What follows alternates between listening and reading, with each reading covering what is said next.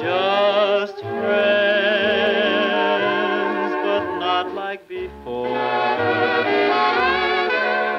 To think of what we've been and not to kiss again seems like pretending it isn't